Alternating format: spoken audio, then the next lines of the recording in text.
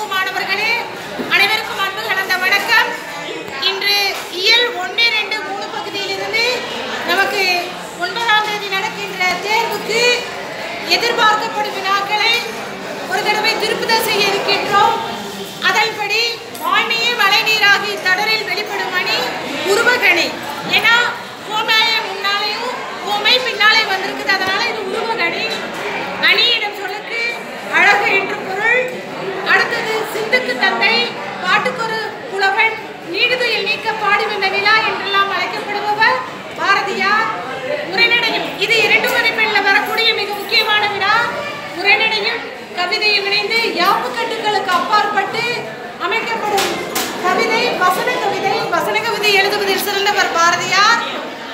நம்ம ஒரு மதிப்பெண்ணில் வந்தாலும் எழுத தெரியணும் இரண்டு மதிப்பெண் வந்தாலும் எழுத தெரியணும்.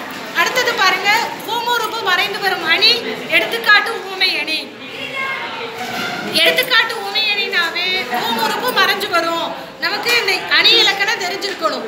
அடுத்தது பாருங்க அதுல இந்த எடுத்துக்காட்டு ஊமை அணி இயல் மூணுல உங்க பாடப்பகுதியில் அமைஞ்சிருக்குது பாருங்க. பன்னெண்டாம் பாடற்கீ பின்றேல் கண்ணெண்டாம் மனப்பாட செயலும் கூட. அந்த குரல்ல எடுத்துக்காட்டு உமையணி இருக்குது ஏன் அப்படின்னா பண் என்றால் இசையோடு பொருந்தி வராவிட்டால் பாடலினால் என்ன பொருள்? அதாவது பாடலுக்கு இசை இல்லாவிட்டால் என்ன பயன்? அதுபோல அந்த கண் இருக்கிறது என்றால் மற்றவர்களிடத்தில் ஒரு இறுக்க உணர்வு காட்ட வேண்டும். இறுக்க உணர்வு இல்லை என்றால் அது என்ன பயன்? அப்போ அங்க போலங்கிற உணவு மறைஞ்சு வந்திருக்குது. அதனால அது எடுத்துக்காட்டு அணி அடுத்தது பாருங்க ஒவ்வொரு வெளிப்படையா வந்துச்சுன்னா அது உமையணி உங்களுடைய மூணாவது எல்ல வேலோடு நின்றான் இடுவென்றது போலும். அந்த செயலையும் நச்சப்படாதவன் செயலில் இடம் அணி உவமை அணி வேலோடு நின்றான் இடுவென்றது போலும் போலுன்னு நின்றான் அந்த கோலம் என்ற ஊமுறுப்பு வெளிப்படையா வந்திருக்கும் அந்த ரெண்டு செயல்லையும் அதனால அது ஊமை அணி அடுத்தது பாருங்க உங்களுக்கு ஆசிரியர் பேர் தெரியணும் குயில் பாட்டு பாரதியார் எழுதினது. அதே மாதிரி திருக்குறள் தெளிவுரை பாபு சிதம்பரனார் எழுதினது. சிறுவர் நாடோடி கதைகள் கி. ராஜநாராயணன். நம்ம கோவலபுரத்து மக்களும் கி. ராஜநாராயணன் எழுதினதான் அடுத்தது ஆறாம் திணை மருத்துவர் கு. சிவராமன் அவர்கள் எழுதியது. அதாவது நம்மளுடைய சங்க தமிழர்கள் உருவாக்கி வைத்திருக்கின்ற ஐந்திணைகளை அறிந்தோ அறிந்து கொள்ள வேண்டும்.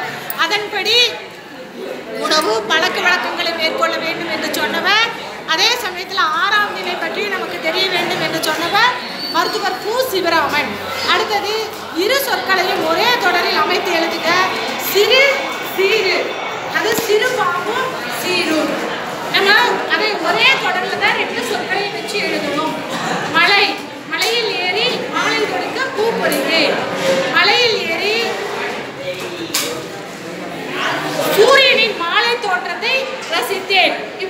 இப்படி என்ன பண்ணலாம்? சொந்தமாக எழுதலாம். அடுத்தது கலைச்சொல் தருக. ஆங்கில வார்த்தைகளுக்கு தக்க நிகரான தமிழ் வார்த்தைகளை உங்களுக்கு தெரியணும்.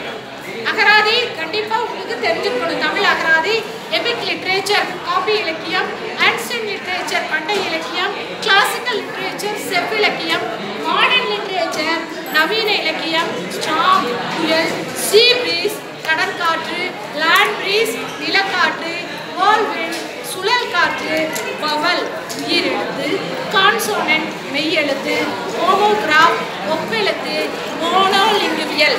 ஒரு முடி.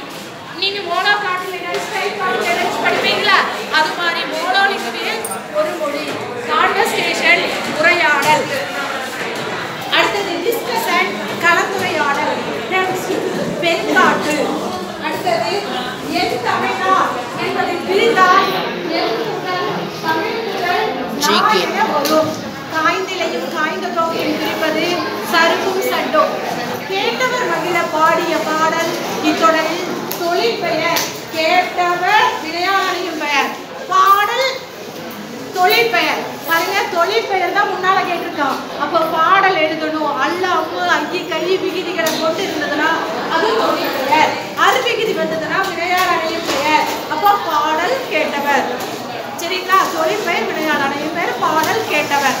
வேர்க்கடலை கொய்கை மாங்கொட்டை இதெல்லாம் வந்து குளிக்கின்ற பயிர் வகை மணி வகை சார்பெழுத்துக்கள் பத்து வகைப்படும்.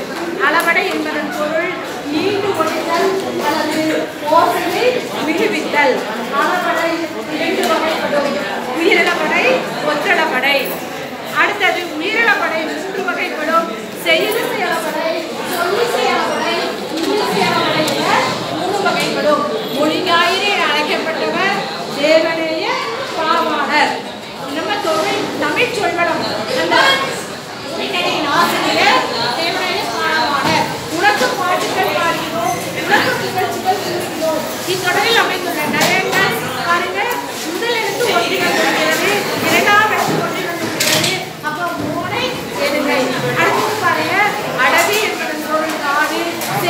Bayern, Banana, Bayern.